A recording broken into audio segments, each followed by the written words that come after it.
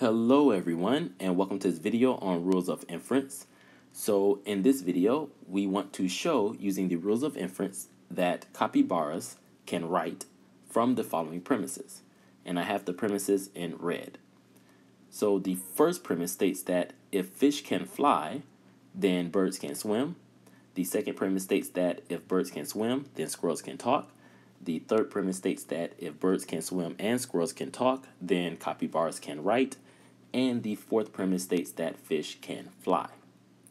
So before we begin solving this problem, let's take a look to the right in the green rectangle. I have a rule of inference called the modus ponens rule. And it states that if P is true and P implies Q is true, then we can conclude that Q is also true. And we're going to use this rule to solve this problem.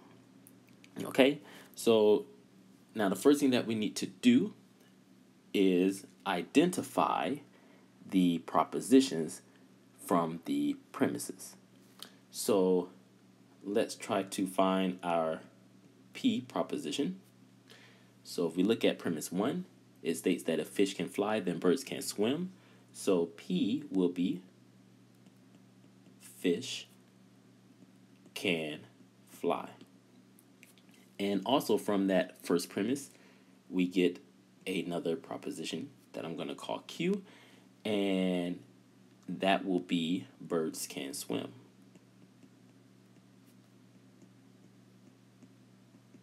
Okay. Next, we have our second premise, which states that if birds can swim, then squirrels can talk. So we already have birds can swim, but we don't have squirrels can talk. So R will be squirrels can talk. Okay, and let's take a look at our third premise, which states that if birds can swim and squirrels can talk, then capybaras can write. So we already have birds can swim, we already have squirrels can talk, but we don't have capybaras can write. So our next proposition will be S, and it will be capybaras can write. And then the last premise states that fish can fly, and we already have a proposition for fish can fly. Okay?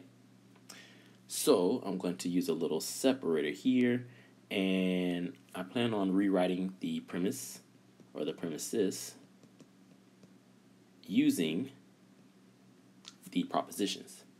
So let's look at premise one, which states that if fish can fly, then birds can swim. So we have if P, then Q, or P implies Q, because P is fish can fly and Q is birds can swim. All right, let's take a look at our second premise, which states that if birds can swim, then squirrels can't talk. So birds can swim is Q, and this implies that squirrels can talk, which is R. And then we'll go to our third premise, which states that if birds can swim and squirrels can talk, then capybaras can write. So let's see, birds can swim is Q. And this is the symbol for and. Then we have squirrels can talk, which is R. And that implies capybaras can write. And capybaras can write is S. And then we get to our fourth premise, which states that fish can fly. So that's just P. And the problem wants us to show using the rules of inference that capybaras can write from the following premise or from those premises. So it wants us to conclude again that capybaras can write. So I'm going to put the three dots for therefore or for conclusion. And we're going to put S. Capybaras can write. So this is what we want to show. So I'm going to put another separator line here.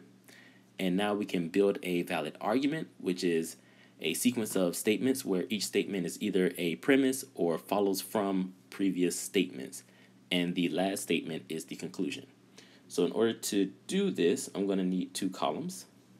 I'm going to call the first column step or steps. And then the second column will be called reasons.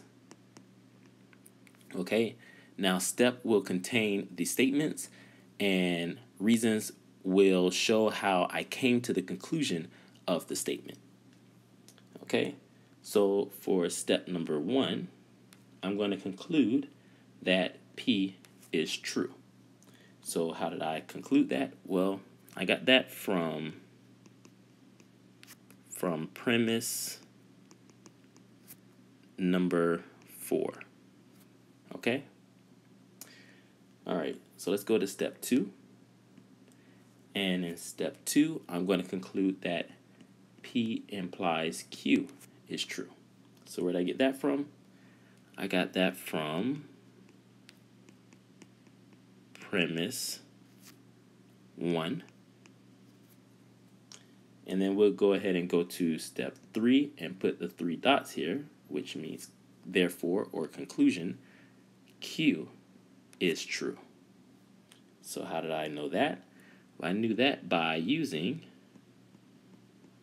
the modus ponens rule on step one and step two. Okay? All right, so let's go to step four. And in step four, I'm going to put Q implies R. So I got that from premise two. Okay? And let's go to step five. And in step five, we can conclude R.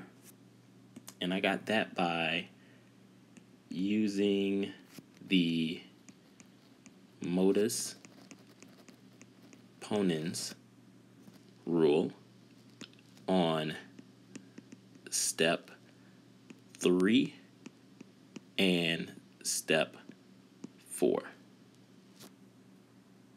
Okay? All right. So, next, we're going to go to step six. And in step six, I'm going to put Q and R implies S. Okay, and I got that from premise 3. And step 7, I can make this conclusion that S is true. Okay? And you may say, well, okay, now how did you get that? Well, that's from step 3 which concluded Q was true, and step 5, which concluded that R is true. So if Q and R is true, if Q and R is true, then S is true. Okay?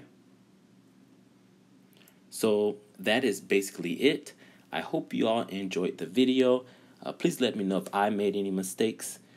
And if you're not a subscriber to the channel already, please hit that subscribe button.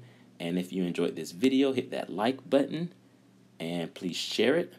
Also, if you want to uh, support the channel, I will leave a link below in the, the description to my Patreon.